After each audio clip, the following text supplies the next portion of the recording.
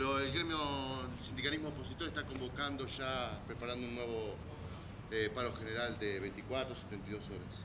¿Qué opina? Ah, charlamos ayer a la mañana de lo que viene sucediendo con ese paro. La realidad que el paro, analizado como se quiera mirar, este, fue un espanto. No hay forma que se pueda sostener que haya habido una ausencia mayor al 20% en muchos de los lugares.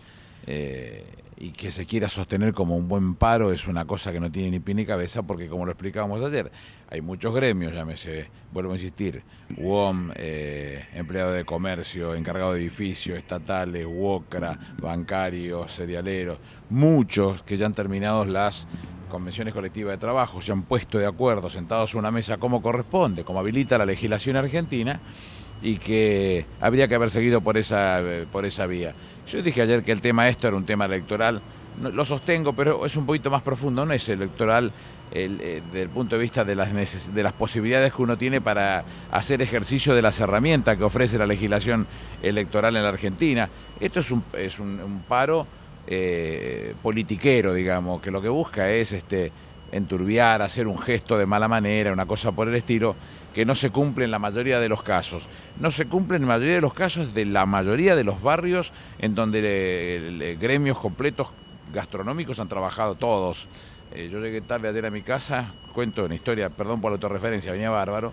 Este, compré, como compro siempre, llamo por teléfono siempre en el mismo lugar, metiendo a los muchachos de muy buena manera y vienen los chicos a traerme lo que compré de delivery y cuando le pago y me entrega, yo estoy cerrando la puerta y me dice, ah, Aníbal, le quiero hacer un comentario. Me dijo Daniel, el encargado, que es el que nos atiende, que le diga que nosotros venimos a trabajar todo, que no faltó ninguno. Me dice, bárbaro. No le pregunté nada yo, me lo contó él porque tenía ganas de contármelo, que habían venido todos a laburar sin ningún inconveniente. ¿Y el hecho de que no se pueda transitar, ministro, por las Son las cosas que suceden, eso. Está todo provocado a, eh, a propósito como para tener de alguna manera al trabajador de rehén de participación, de, que, participe en forma eh, pasiva de lo que está sucediendo quedándose en su casa.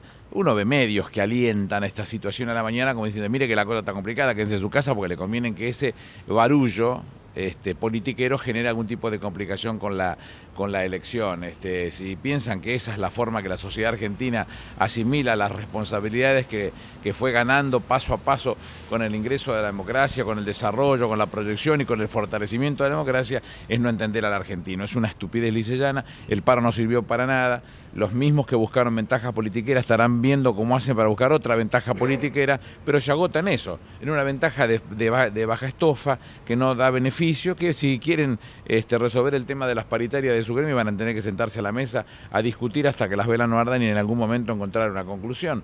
No sirvió para nada, lo decíamos de antemano, está demostrado que no sirvió para nada y lo único que lograron en algunos de los casos a través de la fuerza, a través de la, de, la, de la extorsión o de, la, de, la, de, apretar a algunos trabajadores, este, hacerles cerrar negocios o cosas por el estilo, pero se agotan eso. ¿no? Eso es lo que dijo Luis Barrio Nuevo, que con los militares de la última dictadura se podía negociar y se podía hablar más, aunque después quiso corregirse sobre sus dichos lo miro con un detenimiento.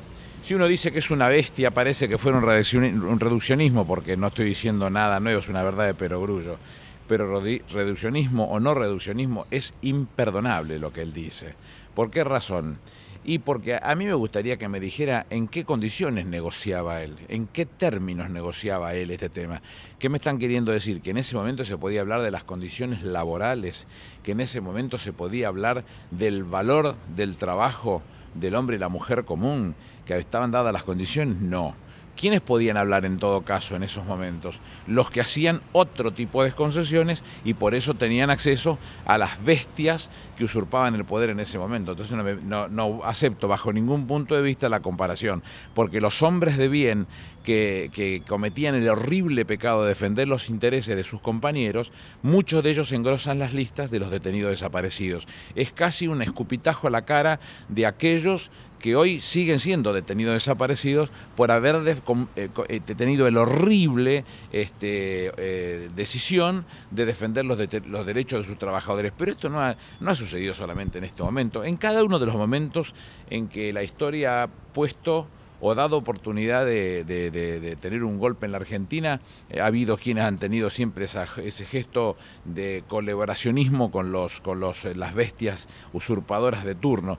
Eh, hay un librito que, escribió Fermín Chávez que cuenta una historia muy chiquita del año 69, que lo va a ver un grupo de, sindicalistas a Perón y Perón estaba por... Le, le, hacen un comentario respecto de la división que había en ese momento y que la CGT de los argentinos estaba a cargo de un dirigente que vive actualmente, que es Raimundo Eh, secretario general de la, de la CGT de los argentinos. Y, le dicen que Ongaro no era peronista, le dice a Perón, y ¿usted cómo sabe? ¿Por qué dicen que no es peronista? Y dice, porque él va este, a, a Tucumán, este, habla con los obreros y no le dice compañeros, le dice hermanos. Bueno, eso no dice nada, dice Perón. Y bueno, pero este, hay, otra cosa que es peor. Dice que habla con Dios. Y Perón dice, ah, bueno, bueno, dice, por lo menos hay uno que habla con Dios y no habla con el gobierno. La verdad es que esa situación ha sucedido y que llegaba inclusive al conocimiento del, propio Juan Perón pensar en eso, no, prefiero pensar entonces en estos tipos, en estas eh, alcahuetes de la dictadura, no, prefiero pensar en los tipos que han hecho algo por el sindicalismo durante toda la vida y que lo siguen haciendo. Los Subaldini, que, el 30 de marzo del 82, manifestación de la que participé, este, y algún derecho tengo a, contar sobre ese tema, se pararon de manos contra la dictadura que ya estaba en su caso y que a los poquitos días apareció con la invasión a Malvinas, este, o, de la misma manera que eh, se paró de manos contra la 25250, ley de, de, Banelco, como se la conoció, y que después el, Congreso de la Nación mostró la parte de honorable, este, anulando una ley que sabíamos que estaba viciada por los cuatro costados. Prefiero ver ese sindicalismo, que es el que me satisface, donde tengo muchísimos amigos y no estos tipos que se sienten o se jactan de haber sido colaboracionistas de la, de la dictadura. Tiempo hasta las cero horas para dar a conocer los diferentes candidatos a presidente, las alianzas. ¿Qué cree que va a realizar Sergio Massa, que va a dar una conferencia hoy? ¿Se va a bajar? No, no tengo idea, no. Démosle laburo a Arangel, que se haga unas mangos, no sé. No, no, no, no, no tengo idea, no tengo idea. No, no, no es un tema que me preocupe. No. ¿Cree que va a haber algún tipo de sorpresas hoy en el cierre de listas? No, porque no se cierran las listas hoy, lo que se, lo que se hace son las alianzas. Y bueno, veremos cuáles son las alianzas, no significa que el día de mañana después estén eh, designados los candidatos. La alianza es la alianza, el cierre de lista para candidatos es el 20, el 20 en todo caso podremos, el 21 podemos estar hablando que fuera cómo, cómo se componen las listas y cada uno en qué lugar está compitiendo y qué es lo que está discutiendo. ¿Las sorpresas las guardamos para el 20 entonces? I think so. ¿Cómo, toma un nuevo retorno al kirchnerismo, en este caso del intendente del partido de San Martín, dejando al partido de Sergio Massa? Otro, otro más y lo mismo con Daniel Bolinaga de Arrecifes, que también se ha sumado en el día de ayer. Este, la realidad es que es lo que venimos hablando todos los días, es más o menos la misma explicación. En algún momento algunos compañeros entendieron que podía haber una alternativa, creyeron en una alternativa esa alternativa es lo que es. Este, al frente está alguien que no tiene formación cultural, que no tiene formación política, que en ninguno de los dos casos está en condiciones de poder armar un proyecto político y que en algún momento, como le decía, se le puede mentir a poca gente mucho tiempo, a mucha gente poco tiempo, no se le puede mentir a mucha gente mucho tiempo. Se cayó el cartón pintado y abajo no había nada, no había nada. Y todos lo que hacen es volver al lugar de donde siempre pertenecieron, a trabajar en las mismas condiciones que siempre pertenecieron. Evidentemente había un error en su interpretación respecto de los pasos de la política que se estaban dando y, las deserciones se producen casi por, por naturaleza porque eh, cada uno lo que hace es este, trabajar con los que se siente a gusto. Evidentemente que al rumbo a donde estaban poniendo este, eh, esa, esa, nave este, estaba fracasando y Seneca dice que nunca hay buenos vientos para el que no sabe de dónde va. Entonces, este, cuando no se sabe a dónde va, lo mejor es ir al lugar seguro y el lugar seguro es el de siempre, donde siempre estuvo. ¿Escuchó a la, oposición fuertes críticas hacia quien dio los índices de pobreza, que es del 5%? Mire, el 5% no lo hizo el INDEC para los grandes este, pronunciadores que no leen ni Paturuzú. Entonces, este, dicen y se jactan y utilizan los términos pero no saben de dónde salen los datos, ni los leen, ni los buscan. Si se meten en Google van a encontrar millones de documentos hablando de lo que yo dije el día de ayer. Yo no quise ser exagerado millones, por lo menos una de mis fuentes las revelé y la puse en Twitter. Como yo creo en Clarín, le, la saqué de Clarín esa noticia y la publiqué y puse el link para que pudieran ver la noticia de Clarín cuando dice cuál es la, pobreza de Alemania. Si no la explicaste, bueno, yo me tragué lo que Clarín me contó. Pero voy a dar el dato, el 5% no lo hace el INDEC, lo hace FAO. FAO es una dependencia importantísima, porque habla nada menos que de los alimentos del mundo que depende de Naciones Unidas. Con lo cual, lo que hizo FAO en el día de ayer, a través de la persona de, su preside, de, la, presidenta de la Nación, es reconocer a la Argentina haber cumplido con las metas 1C, de lo que se conocen como eh, los objetivos del milenio, en el cual lo que se buscaba era reducir a más de la mitad las personas subalimentadas. Recuerdo que de los 129 países, solamente la mitad más o menos cumplió con las metas. La otra parte no pudo cumplir con esas metas. En el informe de los Objetivos del Milenio, página 17, dice con toda claridad, FAO, no INDEC, FAO, que es Naciones Unidas, dice que los índices de hambre en la Argentina están por debajo del 5%, cuando el promedio de los países en desarrollo es del 13%, con lo cual muestra a la Argentina en un lugar de privilegio por razones obvias, porque trabajó mucho, con políticas públicas claras, con políticas públicas serias, para poder llevarlo a ese lugar. ¿Qué es lo que hace? Lo que, ¿Sobre qué meta se toma? Lo que les comenté yo ayer. Es una, pareciera, es eh, eh, necesario hablar un poquito de la técnica que se utiliza. Argentina ya abandonó el método de fijarlo en función del ingreso lisa y llanamente. ¿Por qué? Y porque eso fue inventado por los organismos internacionales, entre ellos la CEPAL, en los 90, para tapar, o mejor dicho, para que no impactara en la pobreza cuando el Estado, los estados, se desertaban de las inversiones públicas, de la salud, de la educación, que eso no impactara en la línea de pobreza. Le fijaban un número y entonces, si aumentaba por la inflación o lo que sea, la, línea esa, una persona que hoy no era pobre, mañana pasaba a ser pobre en función de esa línea, donde se encontrara y cómo lo determinara. Y yo les conté también en el día de ayer que hoy el mundo trabaja con índices multidimensionales. ¿Qué significa eso? Que también toma el ingreso, pero toma el ingreso, toma las cloacas, toma el agua, toma la educación, toma los elementos utilizados para la construcción de las casas. Muchos de esos elementos son los que se... Puedo terminar un segundito, le prometo que ya, eh, soy cortito. Este, una vez que cumpla con todos los elementos, da un índice multidimensional. La Argentina está en su transición. Acabamos de transformar nuestro índice de precios al consumidor en un índice de precios al consumidor nacional urbano, con lo cual contempla todo el país por completo entonces estamos en pleno proceso y transición de ese índice. Alemania ya, calcula con un índice multidimensional y la realidad es que hoy ha fijado la pobreza en el 60% del ingreso medio. El ingreso medio es de 850 euros, quiere decir que el 60% son 510 euros. quiere decir que aquel que percibe menos de 510 euros es el que se considera pobre en Alemania. Durante todo el día un canal de televisión importante, este, ligado al diario que yo leo y que me dio la información este, que yo les publiqué en Twitter.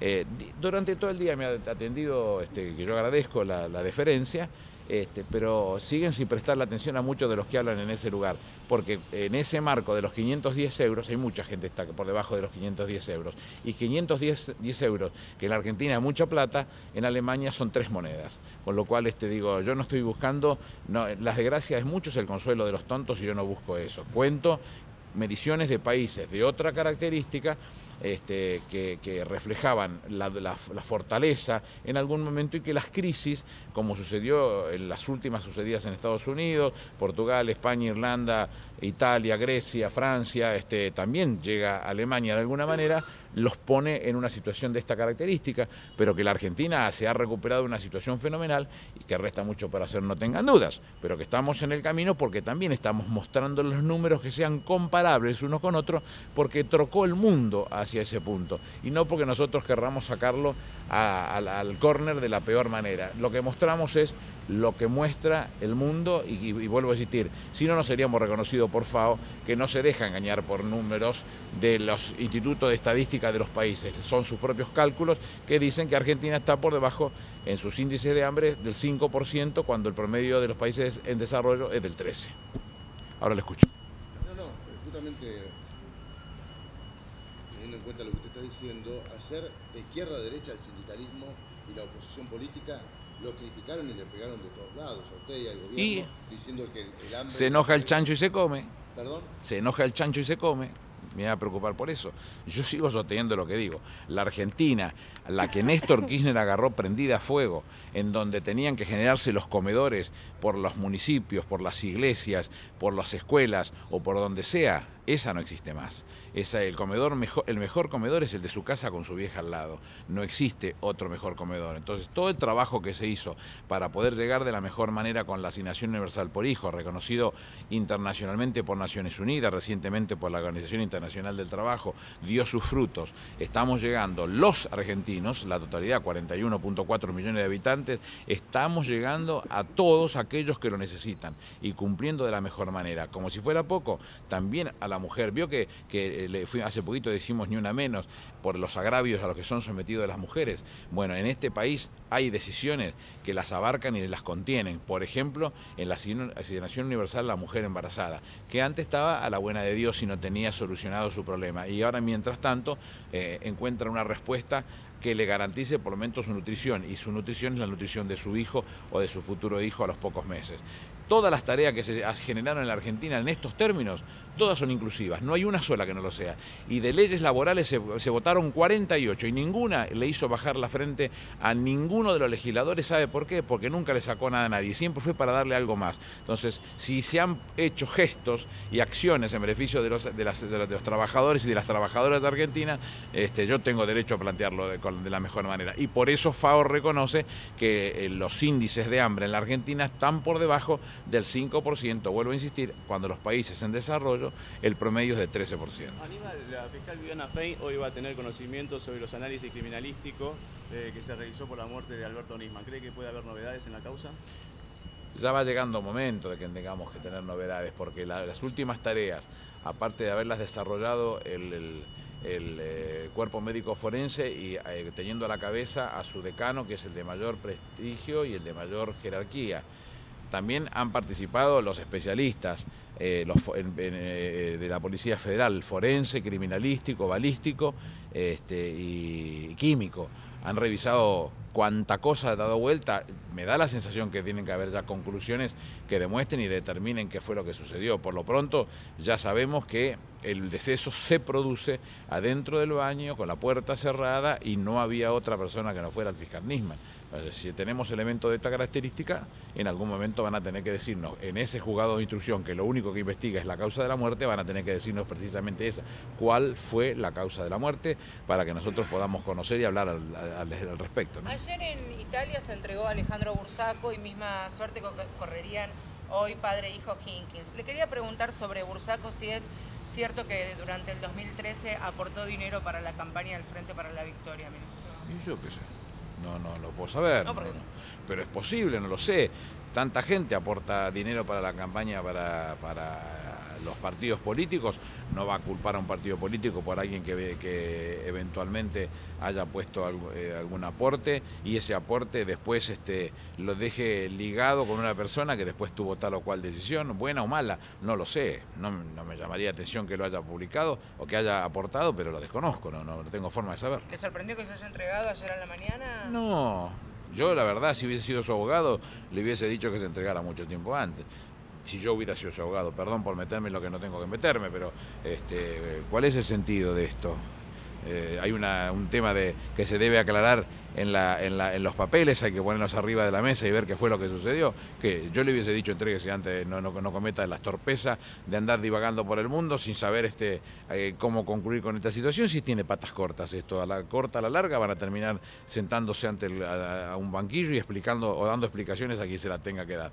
Si hubiese sido abogado, le hubiese recomendado desde el primer momento que se entregara, este, o si quería intentar por lo menos lograr la escarcelación y no la con el negocio, no hubiese dado mucha vuelta, no entendía. Bueno, ahora lo, que dijimos nosotros del primer momento, que queremos que lleguen hasta el hueso, me parece que la, presencia y la eventual declaraciones de, de, las tres personas, de los tres argentinos que tienen, que tenían, porque una vez que se presentó en este caso, y si se presentan los otros dos va, a, suceder exactamente lo mismo, cae el pedido de extradición, porque este, automáticamente presentado comienzan otro tipo de procesos. Él tiene para dar explicaciones que, que van a permitirnos a los argentinos conocer qué fue lo que sucedió. ¿Y llegar hasta el hueso podría involucrar a la AFA? Hubo otra sopa, no sé yo, esos muchachos, que la relación que pueda tener. Hasta ahora lo que conozco es que la discusión es de otro color y que es fuera del país. Y tiene que ver con las investigaciones específicas de FIFA que pueden tener alguna conexión con Conmebol o alguna la conexión con la CONCACAF. No, nunca escuché nada que tenga que ver con AFA. Este, ahora, vuelvo a insistir, si nosotros decimos que como Estado o como gobierno en representación del Estado argentino, lo que nos interesa es que metan el cuchillo, raspen hasta el hueso para que todo lo que tenga que conocerse se conozca, no nos detengamos en, hacer una casuística. Es todo, hasta el hueso y que se conozca lo que se tiene que conocer. ¿eh?